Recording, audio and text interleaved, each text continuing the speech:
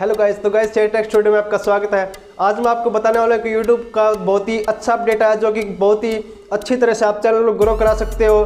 किसी बड़े यूट्यूबर की हेल्प से तो आप कैसे ग्रो करा ग्रो करा सकते हो? इस वीडियो के अंदर मैं आपको बताने जा रहा हूँ। तो गाइस वीडियो को एंड तक कंप्लीट देखिएगा और आपने अभी तक चैनल को सब्सक्राइब नहीं किया चैनल को सब्सक्राइब कीजिएगा और बेलाइकन ज़रूर प्रेस कीजिएगा। तो चलिए गाइस करते हैं वीडियो शुरू।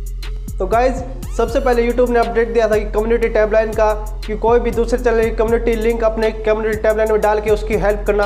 और बाद में आता है एट द रेट ऑफ़ वाला सिस्टम या फिर डिस्क्रिप्शन वाला।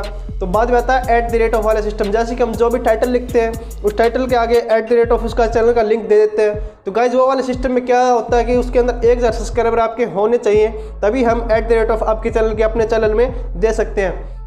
तो गाइस दिन बर दिन यूट्यूब का बहुत ही अच्छा अपडेट आता जा रहा है। दिन बर दिन बहुत ही अच्छी सुविधा मिलती जा रही है आपको, जो भी नए नए यूट्यूबर हैं, उनके लिए बहुत ही अच्छी और गुड न्यूज़ है ये। तो गाइज़ अब वाली क्या न्यूज़ आई वो मैं आपको बताने जा रहा हूँ।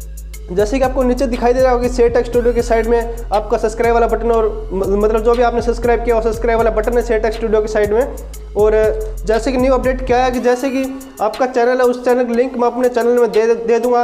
और वो देने के बाद जो कि मेरा सेट टेक स्टूडियो वाला जो भी अपना चैनल का नेम है, उसके नीचे आपके चैनल का नेम आ जाएगा और उस आपके चैनल का नेम आने के बाद आपका सब्सक्राइब बटन भी उसके सामने आ जाएगा।